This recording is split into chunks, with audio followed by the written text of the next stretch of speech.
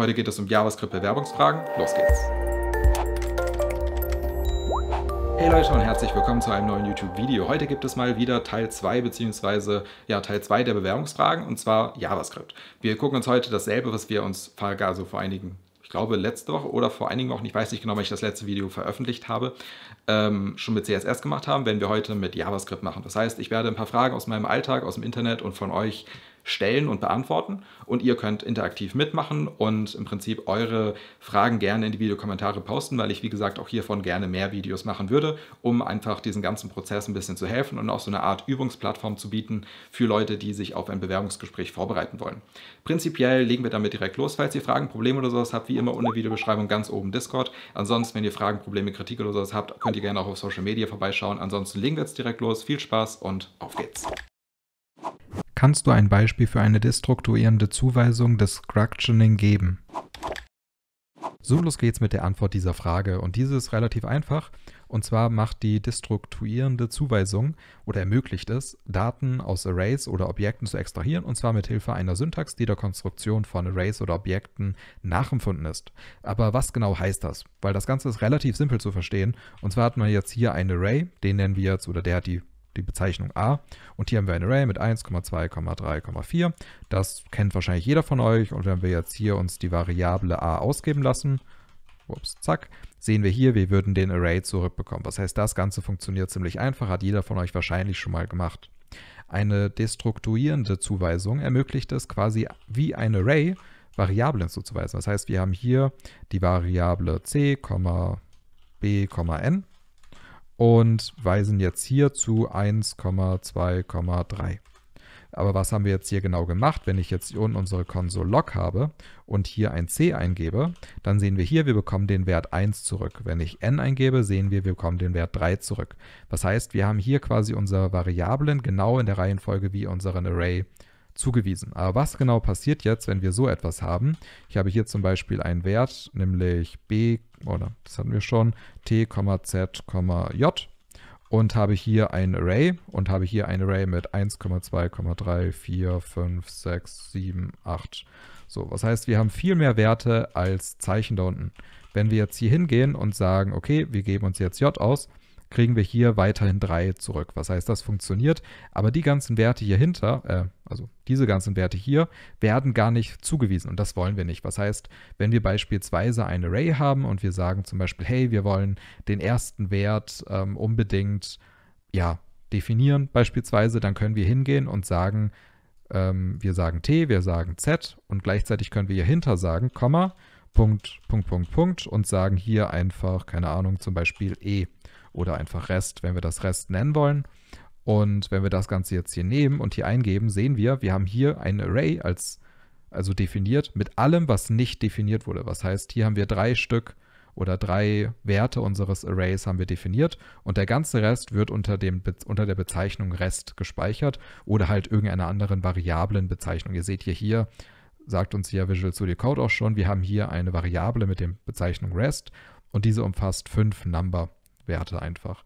Ähm, das Ganze ist relativ simpel, relativ praktisch und ist eine sehr häufige Frage, muss ich sagen, ähm, bei Bewerbungsgesprächen bzw. Code-Interviews. Ich wurde das in der Vergangenheit schon, ich glaube, bei drei Stück gefragt und es ist relativ simpel zu erklären und viele nutzen es, ohne wirklich zu wissen, was eine destruktuierende Zuweisung eigentlich ist.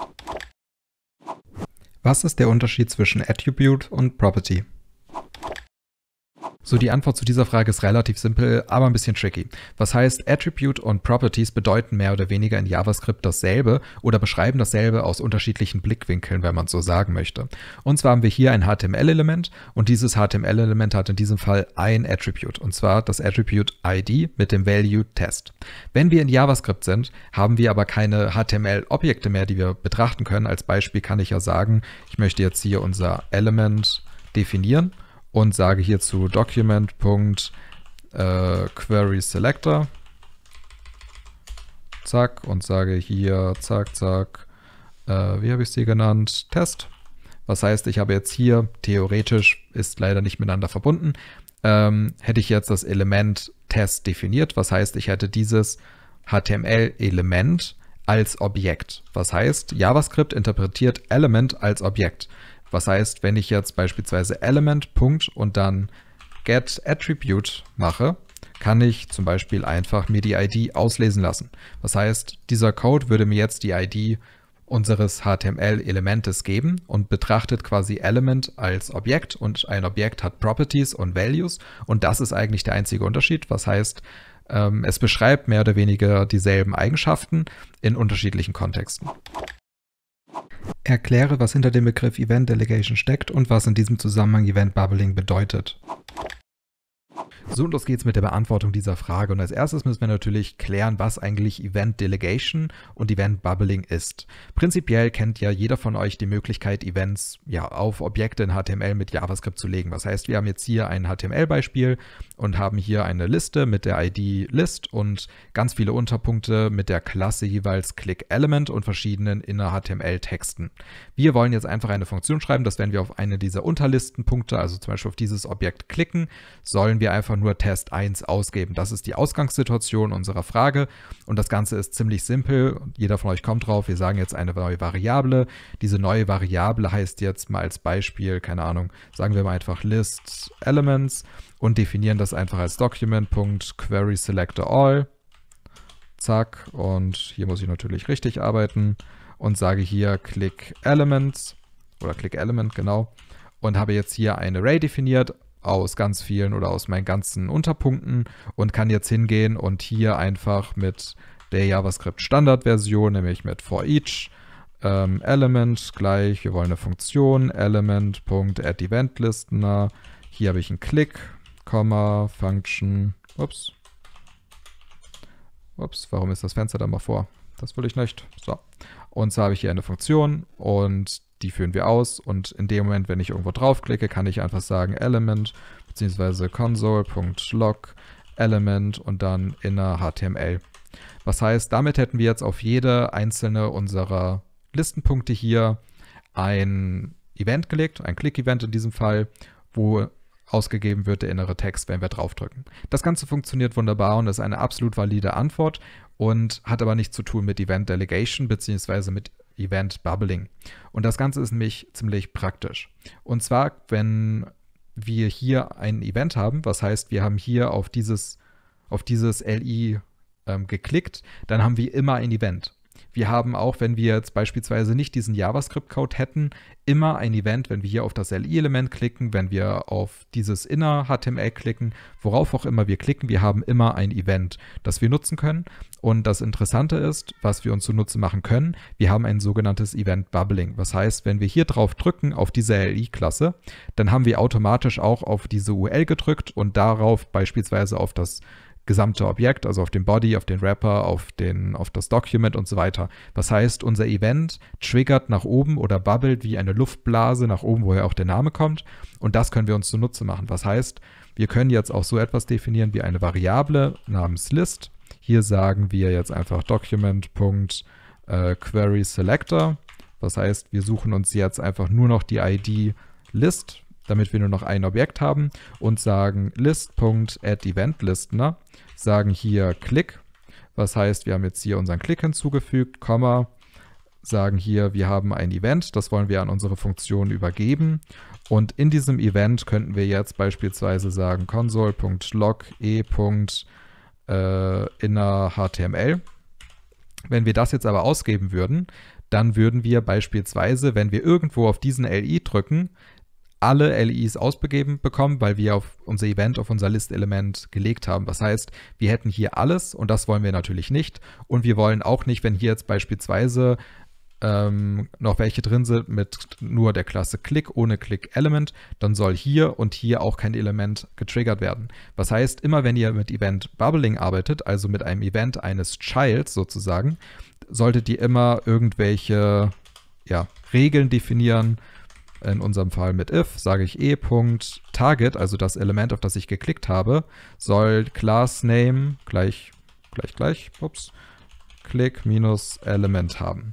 Was heißt, unsere Funktion soll nur getriggert werden in dem Moment, wenn der Klassenname des Childs, auf das wir geklickt haben, ähm, Click Element ist. Und so könnt ihr mit Event Bubbling bzw. Event ähm, Delegation arbeiten. Aber jetzt ist natürlich die große Frage, was bringt euch das? Weil ich kann ja genauso gut mit der alten Variante hier oben arbeiten, das funktioniert ja auch.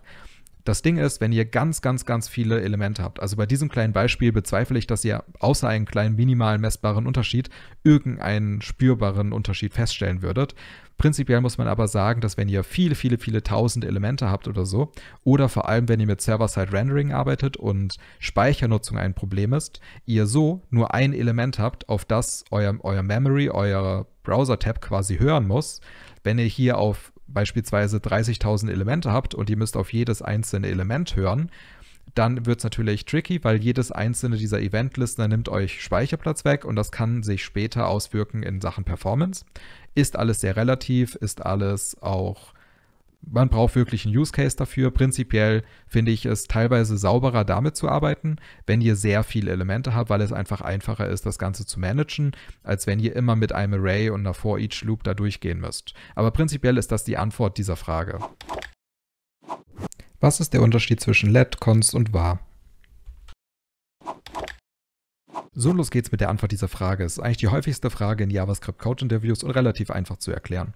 Das heißt, früher hatten wir, beziehungsweise vor ES6 hatten wir einfach nur die Möglichkeit, Variablen als var a gleich 1 beispielsweise zu definieren. Das Ganze ist nicht wirklich schwer und hat wahrscheinlich jeder von euch schon mal gemacht. Mit console log können wir das Ganze dann ausgeben und bekommen hier 1 zurück. Das Ganze funktioniert wunderbar.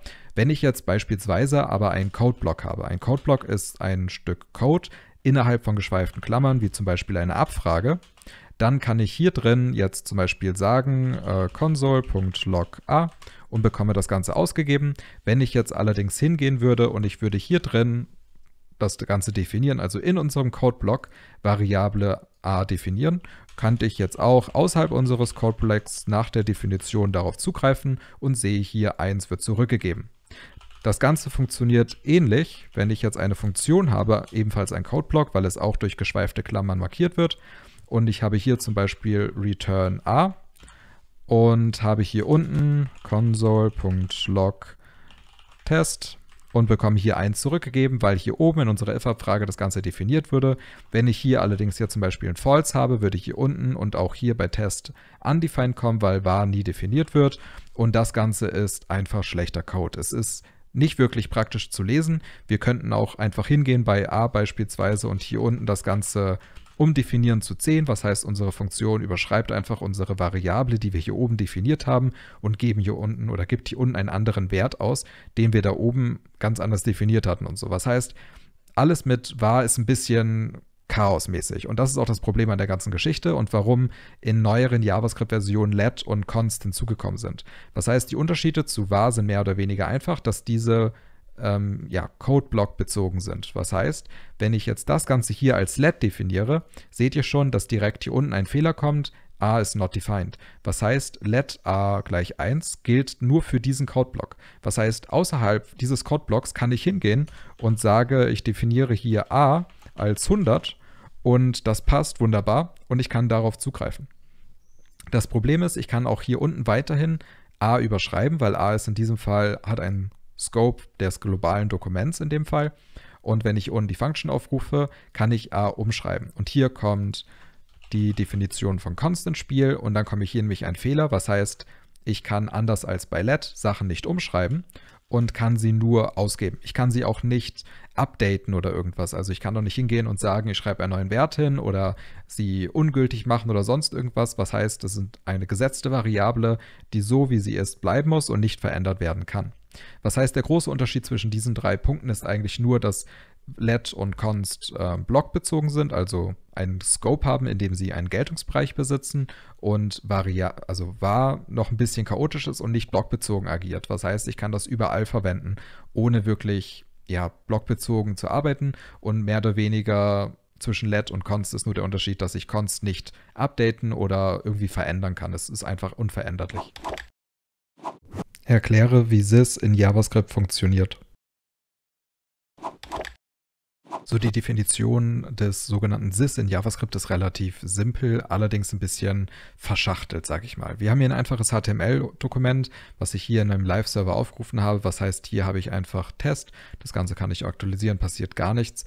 Ähm, ich habe hier einfach nur einen Div-Container mit der ID Test und einem Text darin stehen, der hier oben ist. Mehr brauchen wir auch gar nicht. Und was ich jetzt erklären möchte, ist einmal, wenn ich einfach in der obersten Ebene ein Console-Log mache von sys, dann rufe ich das auf. In unserem JavaScript-File seht ihr hier schon, schreibt Quonka uns da einfach ein leeres Objekt hin. In unserem Browser seht ihr hier unten, bekommen wir das gesamte Window-Objekt, also das oberste von JavaScript zugängliche Objekt des Browsers zurückgegeben, was wir auslesen können.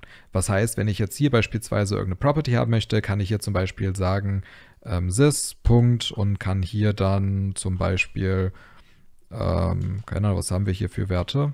Muss mal gucken ähm, sys.clearout oder close, das sind alles Funktionen, die ich aufrufen kann und damit können wir halt rumspielen. Grundsätzlich, wenn wir dieses sys verwenden, ruft das immer ein oder es bezieht sich immer auf das Objekt, in dem wir uns gerade befinden. Wenn ich jetzt als Beispiel ein Objekt habe, ich sage jetzt hier mal zum Beispiel das Objekt Person, ähm, dieses hat Name, ähm, Max Mustermann und zum Beispiel auch ein zweites Attribut, eine zweite Property mit Age 12. Dann können wir damit Mustermann, schreiben wir auch mal richtig. So, wollen, dass das ja ordentlich ist. Dann können wir das jetzt so nutzen und wenn ich hier drin jetzt zum Beispiel ein Callback hätte, also einfach eine Callback-Funktion mit Function, ähm, zack, und sage hier Return Name, dann würde das Ganze hier nicht funktionieren. Das heißt, wenn ich jetzt hier console log person.callback eingeben würde und diese Funktion aufrufe in dem Objekt, dann würde der hier sagen, Name ist not defined, weil in unserer Callback-Funktion Name nicht existiert. Wenn ich jetzt allerdings ein sys davor setze, dann bezieht sich dieses sys auf das Objekt Person, also das Objekt, in dem es aufgerufen wird, beziehungsweise alles, was hier links der aufgerufenen Funktion steht und habe hier Callback, zack, alles und hier kriege ich Max Mustermann zurückgegeben. Ganz wichtig ist, es gibt ja diese Schreibweise einfach mit Function und es gibt noch diese schöne Schreibweise aus ES6, einer Arrow Function. Hier funktioniert es nicht. Hier bekommen wir undefined zurückgegeben, weil innerhalb einer Arrow Function sys immer auf das globale, also das oberste Objekt zu beziehen ist. Was heißt, wenn ich hier sys eingebe, ist das leer, beziehungsweise ihr seht es hier im Browser, ist es das Window-Objekt.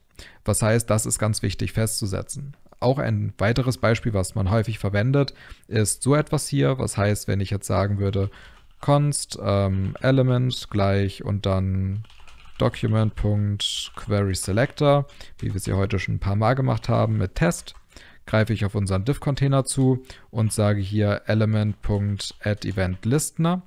Habe ich hier ebenfalls ein Click-Objekt, sage hier Function e also gebe unser Event weiter und sage hier console.log.sys. Und in dem Moment ist sys das, worauf wir klicken. Was heißt, wenn ich jetzt hier auf Test klicke, kriege ich das zurückgegeben. Dasselbe kann ich auch hier mit E machen. Was heißt, wenn ich jetzt hier drauf kriege, bekomme ich unser Event zurück. Und wenn ich das hier mit sys mache, bekomme ich das Objekt zurück, indem ich die Funktion aufrufe. Was heißt, ich habe hier unser Objekt, das ist das Element, und hier rufe ich eine Funktion auf und damit rufe ich quasi immer das Element auf, in dem ich mich gerade befinde. Aber auch hier, wenn ich ein Event Listener schreibe mit einer Arrow-Function und ich auf sys klicke, kriege ich immer das globale Window-Objekt zurück. Und das ist einfach wichtig zu wissen. Was heißt sys? Bezieht sich immer auf das Objekt, in dem eine Funktion aufgerufen wird. Und das ist mehr oder weniger das Wichtige, was man daran verstehen und was man vor allem daran ähm, ja, anwenden kann. So, das war schon wieder für diese Woche. Wenn ihr Fragen, Probleme oder Kritik habt, unter Videobeschreibung, Discord, Facebook, Twitter, Instagram. Ansonsten könnt ihr diesen Channel auch auf Amazon Affiliate oder anderen Affiliate-Plattformen supporten.